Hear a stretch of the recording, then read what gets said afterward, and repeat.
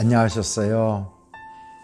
오늘은 윤택의 비밀 제3강 육신에 속한 사람의 삶이라고 하는 주제의 말씀을 나누려고 합니다.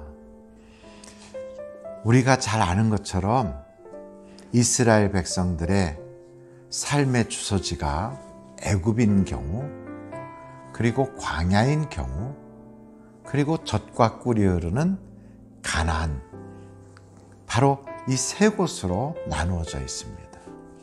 그 애굽에 대한 그 삶의 모습이 바로 육신에 속한 삶이라고 우리는 어, 말할 수가 있겠습니다. 그러면 애굽은 어떤 삶인가? 그것은 두려움이 지배하는 그러한 곳입니다. 애굽의 삶의 특징이 있다면 세 가지가 있는데요.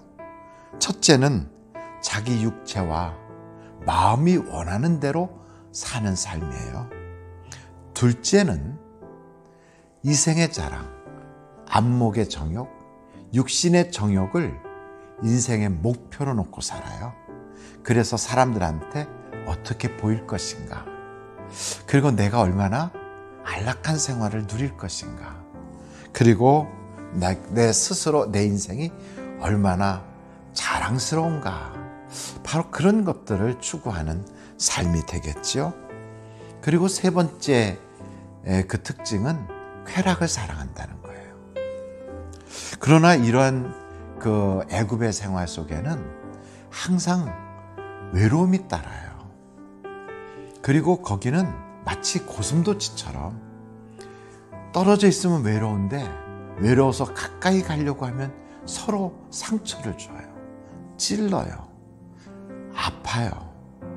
그래서 하나가 되지 못하고 항상 외로움과 그리고 허무함과 또 후회되기 시작하는 그런 마음이 있게 됐죠. 그것을 채울 수 있는 방법이 없어서 중독에 빠지게 되는 경우가 참 많습니다. 특별히 예수를 믿는 사람들 속에서도 이 애굽의 삶을 살아가는 분들이 계시거든요. 애굽 생활의 특징 그대로가 나타나는 거예요. 그래서 그럴 경우에 하나님은 본질상 진노의 자녀의 삶을 산다라고 말씀하십니다. 교회를 다녀도 세상 것만 추구하기 때문에 이 세상 사람, 육체에 속한 사람, 혹은 육신에 속한 사람이라고 말할 수가 있습니다.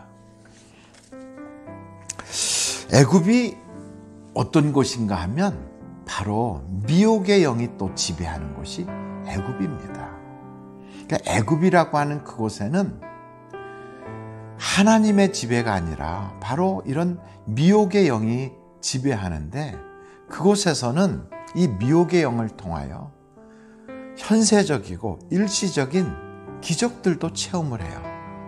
그래서 절에 가서 불공을 들여서 아이를 낳다든지 아니면 어떠한 점쟁이를 찾아가서 만나서 재력가가 됐다든지 또 혹은 어떤 어떤 사람과의 그런 교제를 통하여 그가 알려준 대로 함으로써 인생의 어떤 성공을 맛보았다든지 하는 현세적이고 일시적인 기적도 나타나는 그러한 때도 있습니다.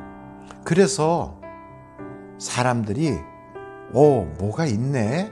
하고 미혹을 받아서 예수를 믿지 못하게 하는 그러한 영의 지배를 받게 끌고 갔지요. 그래서 결국은 구원에 이르지 못하게 하는 그러한 어둠의 영이 다스리는 곳이 바로 애굽 생활입니다.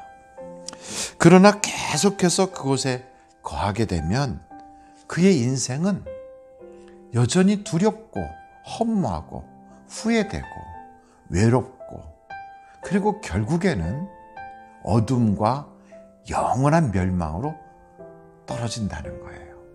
그래서 우리는 그 애굽 생활을 빨리 청산하고 그것을 떠나 하나님이 약속한 축복의 나라로 그리고 하나님이 약속한 그 빛의 자리로 주소지를 옮겨야 되는 거죠. 죽음에 대한 두려움 등 삶에 대한 두려움, 그리고 또 우리에게 버림받을까봐 하는 두려움, 이런 것들이 끊임없이 우리를 지배하고 우리로 하여금 조종받아 살게 하는 그 애굽 생활은 사실은 우리의 스스로는 거기서 빠져나올 수가 없습니다. 하나님께서 우리를 건져 주셔야 구원을 받을 수가 있어요. 우리나라의 입장을 봐도 우리가 많은 종교를 가졌었지만 그 결과는 다 멸망이고 어둠이었고 그리고 두려움에 사로잡혀서 정말 조그만 물건 하나도 사지 못하고 날짜를 봐가면서 손 있는 날, 손 없는 날을 따져야 되고 이름 하나를 짓더라도 장명소에 가서 물어보고 이름을 줘야 되고 그리고 이사를 하는 것도 마찬가지고 모든 것에 그렇게 두려움의 지배를 받고 살았거든요. 그런 우리나라에 하나님께서 선교사들을 보내주셨어요. 그리고 그 선교사님들이 이 땅에 오셔서 복음을 증거하시고 우리나라에 그들이 와서 얼마나 많은 어려움을 겪으면서도 결국은 우리로 예수 그리스도를 믿도록 그렇게 하셨는지 이것이 바로 하나님의 그 크신 사랑이고 우리 민족과 나라를 향하신 하나님의 은혜입니다. 저는 그래서 우리를 구원하시고자 하는 그 하나님의 섭리가 우리나라의 역사 속에 그대로 스며 있는 것처럼 우리 사랑하는 분에게도 그 섭리를 깨닫고 하나님의 은혜 안에 거할 수 있기를 바랍니다. 이런 구원의 역사, 하나님의 그러한 계획 속에는 분명한 목적이 있어요. 우리나라를 구원하신데도 목적이 있었던 거예요. 전 세계 모든 인류를 구원하시고자 하는 그 계획을 통하여 우리나라에 복음을 전파하여 우리나라에 많은 선교사가 일어나므로 세계 복음화를 이룩하고자 하시는 하나님의 목적이 있지요. 우리도 마찬가지예요. 우리를 구원하신 하나님은 거기서 끝이 아니라 우리를 통하여 더 많은 사람들을 구원하시고자 하는 거룩한 목적을 가지고 있습니다. 그러므로 우리는 복음의 빚진 자다 하는 그 마음을 가지고 하나님이 우리를 사랑하시고 우리를 구원하신 그 놀라운 은혜에 보답하며 살아가는 그런 삶이 우리의 삶이 되어야 합니다.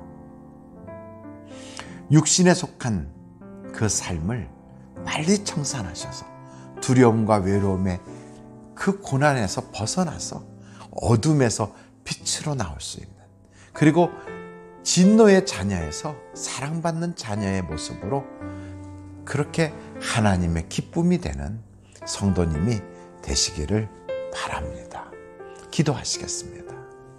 하나님 아버지, 우리의 영적 주소지가 애굽에 머물러 있지 않고 이제는 하나님이 복을 주시는 그러한 은혜의 자리, 축복의 자리, 밝은 빛의 자리에 거할 수 있게 도와주시고 두려움의 지배를 받고 미혹의 영에 이끌림 받으면서 무엇을 먹을까 무엇을 마실까 어떻게 살까 안목의 정욕과 이생의 자랑 육신의 정욕에 끌려 사는 그런 인생이 아니라 이제는 더 이상 내 마음이 원하고 육체가 원하는 대로 살지 않고 성령님이 이끌어 가시는 하나님의 목적대로 살아가는 우리가 되게 하여 주옵소서.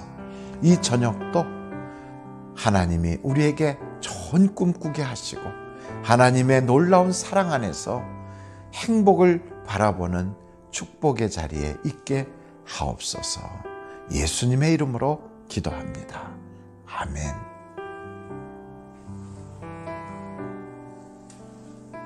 사랑합니다.